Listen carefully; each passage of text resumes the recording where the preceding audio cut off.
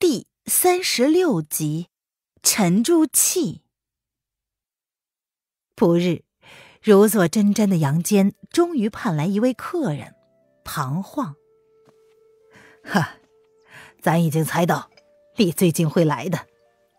杨坚高兴地说：“哎，何以见得？魏国公高居一品，做了大司徒，他位高权重，还能离了你这位昔日幕僚。唉，话虽如此，庞晃叹了口气，他说：“只是做魏国公的僚属，意思并不大呀。那为啥？嘿。”这你还不知晓？魏国公乃性情中人，他有时能采纳下属的建议，有时则是一意孤行，谁的话都不听。一旦捅出个啥娄子，手下的人还不是又要跟着一同倒霉了？哎，吃一堑长一智，尤其是此次复出，意义更是非比寻常。圣上真正执掌了朝政，魏国公又是圣上的亲兄弟。腰板更硬实，任内事，即便有处置不周到的，哎，不也就一笔带过了吗？哎，其实也不尽然。唐晃环顾了一下左右，见无闲人，他才说：“圣上看人，其实镜子一般，清楚着呢。这回呀，魏国公先是想当大冢宰，圣上未准。”他又要做大司马，掌管兵权，圣上亦未准。最后啊，给了他个比大冢宰、大司马更高的大司徒，位居一品，却是个荣誉崇高而无实权的闲职。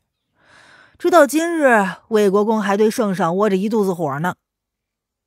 唉，有道是家家都有一本难念的经啊。杨坚叹了口气。他说：“你看看，咱这里还不知道唱的是哪一曲呢？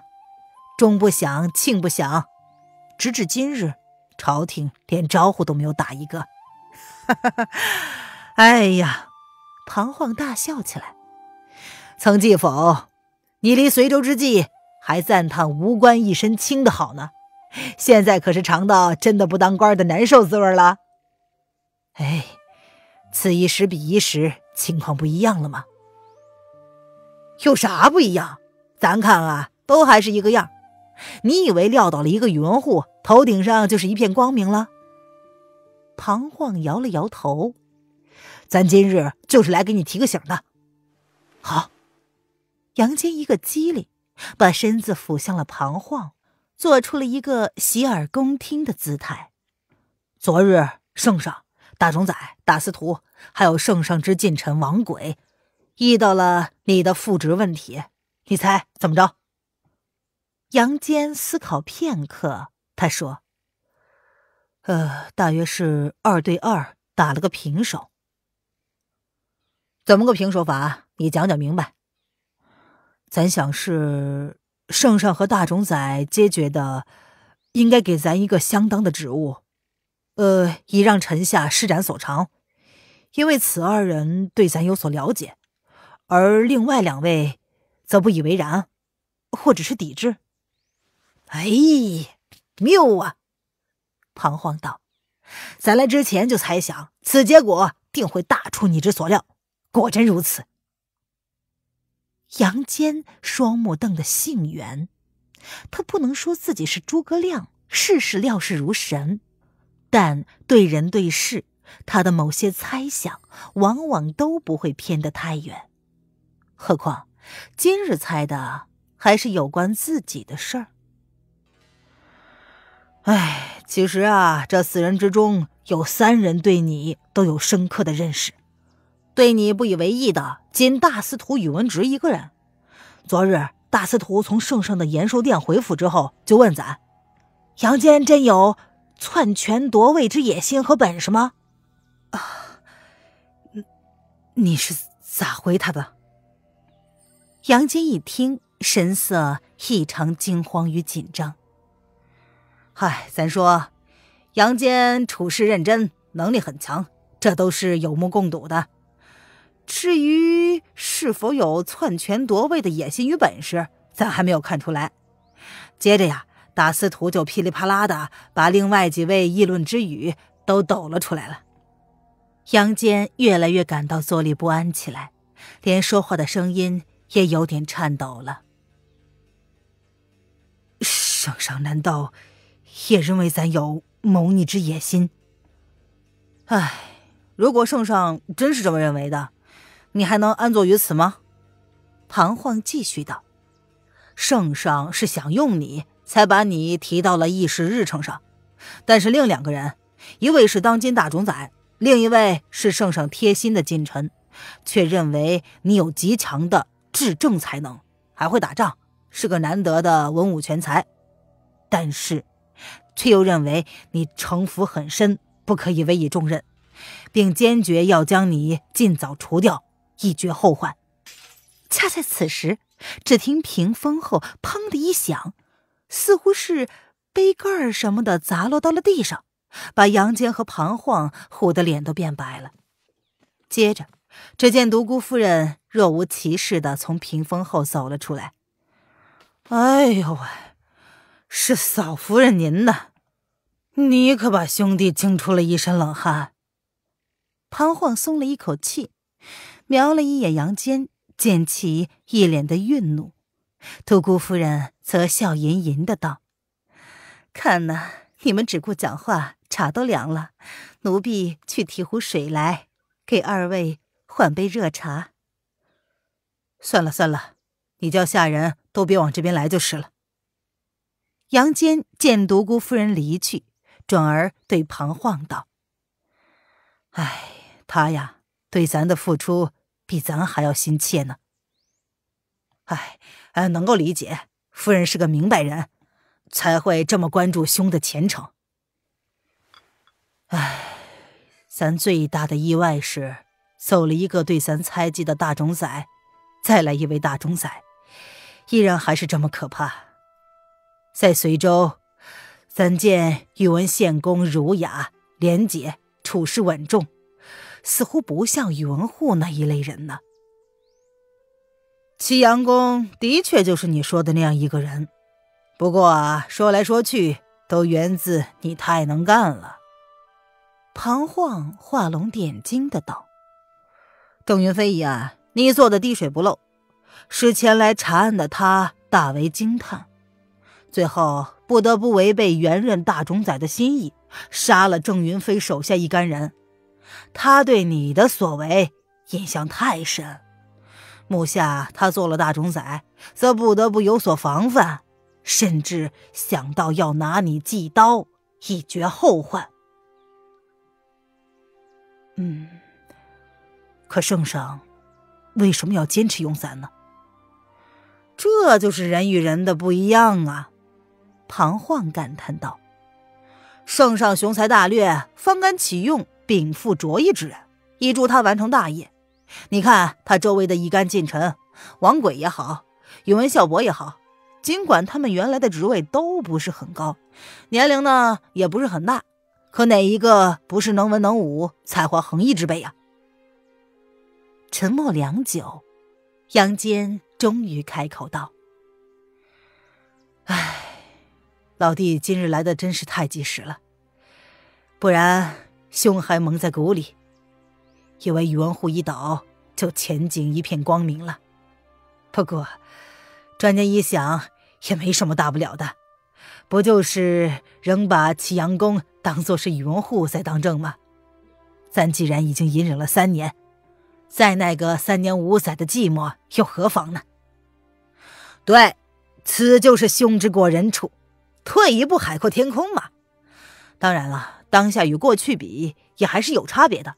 最大的差别就是在于，呃，过去宇文护是一手遮天，凌驾于天子之上；当下圣上已经手握全权，而他是欣赏你的，他不答应拿你试问，谁也撼动不了你。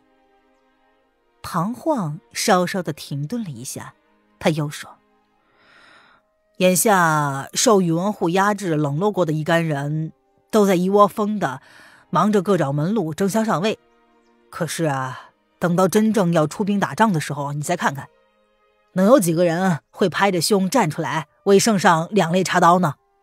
因此啊，当务之急就是要沉得住气，心急吃不得热汤圆呢。好，就是这个话。杨坚的情绪也随之高涨起来。那弟就告辞了。哎，久别相逢，且又是在家里，能不能痛饮几杯？哎呀，改日吧。兄弟刚从襄州到大司徒府上，还是小心谨慎点好。杨坚送走了庞晃，独孤夫人就跟了过来。杨坚埋怨他说：“你呀，也太心切了。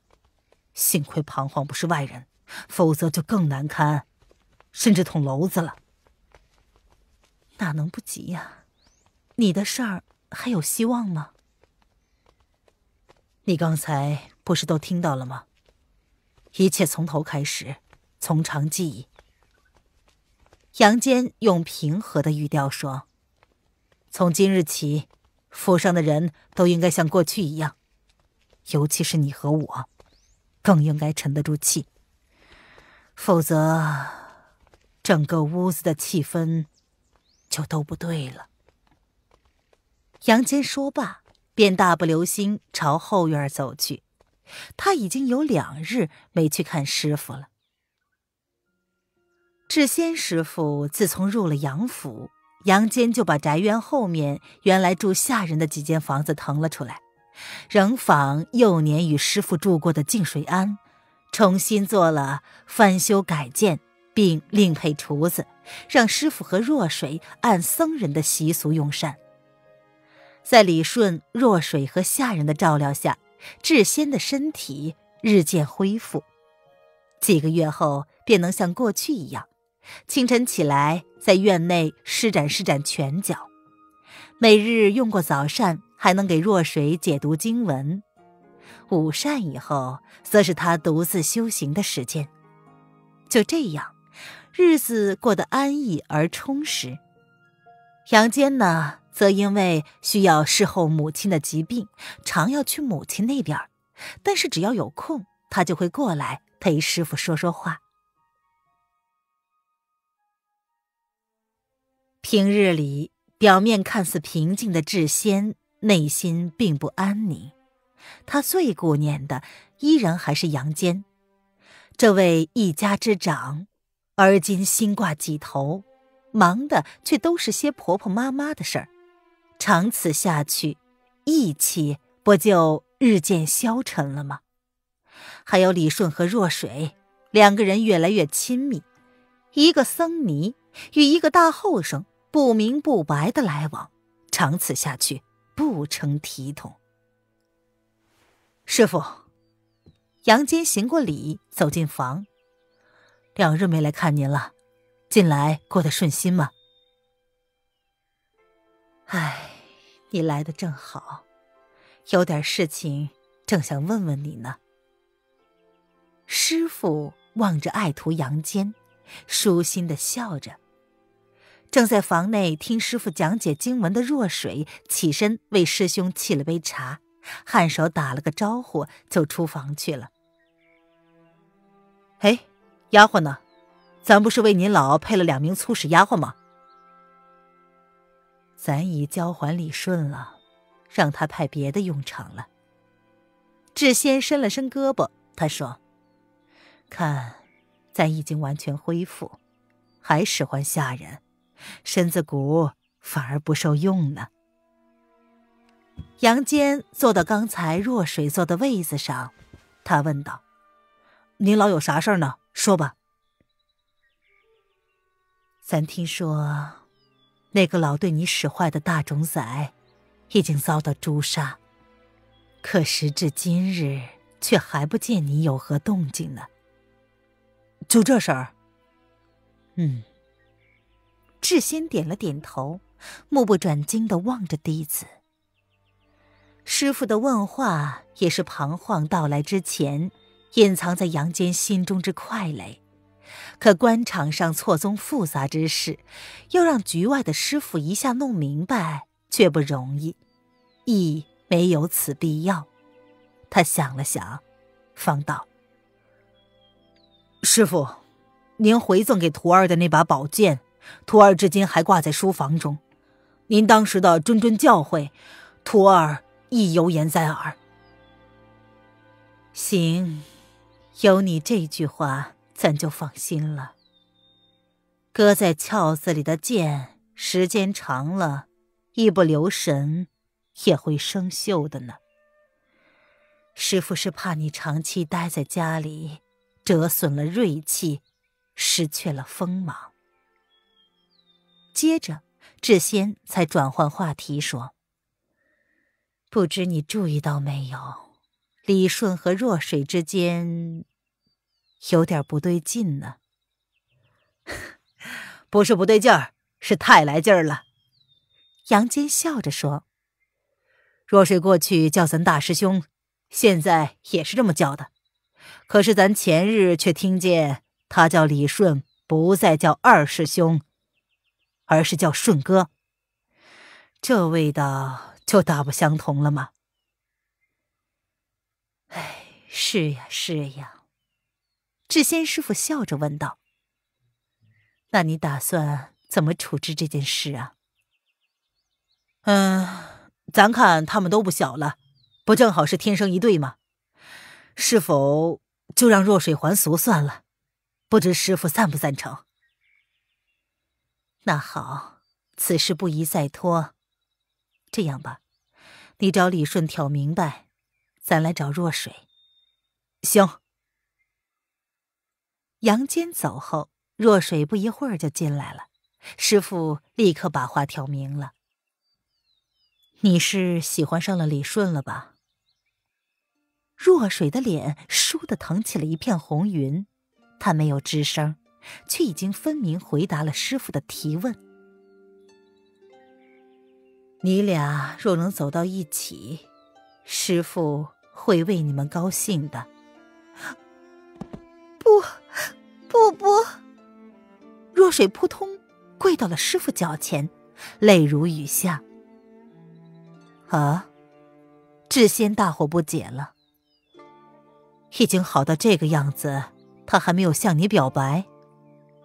若水摇着头说：“他早就说过要娶咱，是咱没有同意。为啥呀？咱对他说，咱今生今世是离不开师傅的，而且师傅和咱都离不开佛，因此。”在与李顺哥哥，亲生是没有缘分的。那李顺咋说的？他啥都没有说，只是点了头。说到这里，若水泪流满面的抬起头来，他接着说：“师傅，这里不能久住了。”我们还是走吧。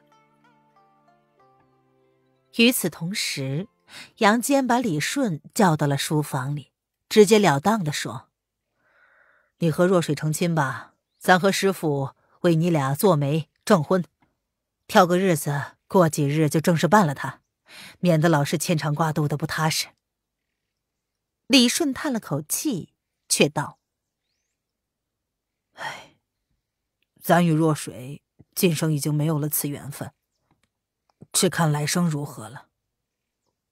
为啥？李顺悲戚的说：“若水不肯离开师傅，咱孤儿一个，也是师傅拉扯大的。而今师傅垂垂老矣，咱也不忍心把若水从师傅身边夺走。这算个啥理由？”杨坚有点火了：“你们成了亲。”都在一个院子里住，就把师傅扔到一边去，不照顾他老人家了。问题就是在这里啊！李顺说：“师傅和若水的心都不在这屋子里，而是在庙堂佛国中。不知道哪一天，他们就会远走高飞，离开此处。”啊！杨坚瞪大了眼睛：“咱咋不知道？你怎么也没有和咱说一声呢？他们其实也没有明说，咱也只是猜测。你想想啊，如果不是这样，若水为啥要拒绝咱呢？杨坚也进了声。那边，无论智仙怎么劝说，若水就是不肯让师傅一个人离开杨府。无奈之下的智仙方改变主意，暗中与若水商量，并做了离开杨府的准备。但是，人算不如天算，一个意外情况的发生，彻底打乱了智仙和若水离去的筹划。